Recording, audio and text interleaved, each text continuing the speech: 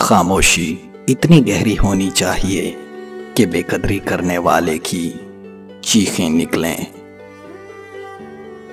हसास लोगों को हसासियत और संग दिलों को उनका गरूर मार देता है।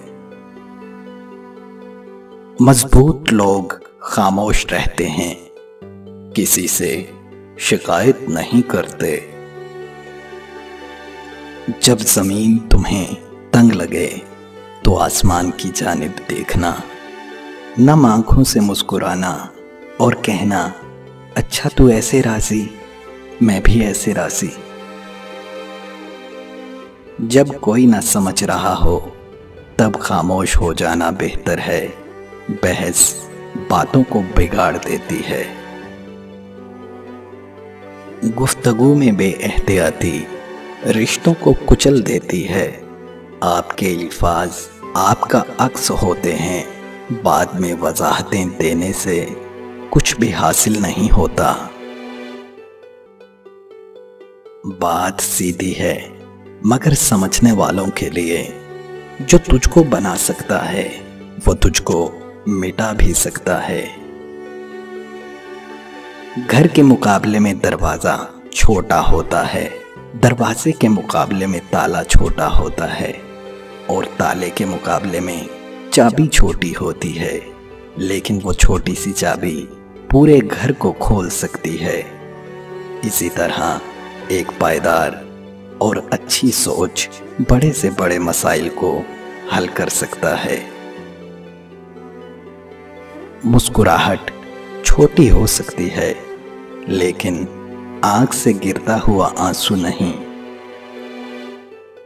अगर आपके पास आपके बाबा हों तो आपको किसी और चीज़ की ज़रूरत नहीं, क्योंकि बाप एक चनार के दरख्त की तरह होता है।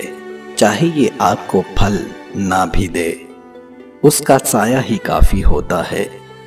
माँ, एक ऐसा बागीचा है, जहाँ आप चहलकदमी करते हैं। और बाप एक पहाड़ जिसका आप सहारा लेते हैं। अगर तुम उसकी कदर से वाकिफ हो जाओ, फिर उससे बड़ी दौलत कोई नहीं।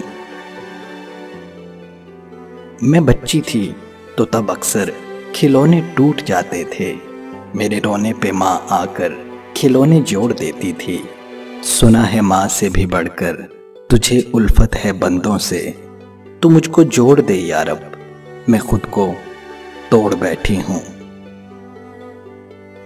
किसी के तलख या गमगीन पोस्ट करने का मतलब ये नहीं कि इंसान मोहब्बत में धोखा खाकर या इश्क में नाकाम होकर कुछ ऐसा लिखता है। अक्सर कुछ मिजाज लोग भी बहुत तलख बातें कह और लिख जाते हैं, क्योंकि कुछ बातें इंसान पसंद करता है। कुछ उसके मिजाज में होती हैं और कुछ वो ज़िंदगी से सीख लेता है। हर बात की वजह मोहब्बत का हो जाना या मोहब्बत को खो देना नहीं होता। और भी गम है ज़माने में मोहब्बत के सिवा। ऐसी बहुत सी तलख हकीकतें मौजूद हैं जो इंसान को अफसरदा कर देती हैं।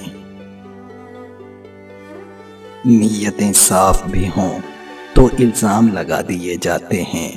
मोहब्बत खालिस भी हो तो दिल तोड़ दिए जाते हैं। खुद को पढ़ता हूँ, छोड़ देता हूँ। एक वर्ग रोज मोड़ देता हूँ। कांपते होठ, भीगी पलकें, बात अधूरी ही छोड़ देता हूँ। ज़िंदगी में कभी कोई आपका किरदार उठाकर चौक में भी लटका दे, तब भी इतमान रखें। क्योंकि इज़्ज़त और जिल्लत सिर्फ़ अल्लाह के हाथ में है।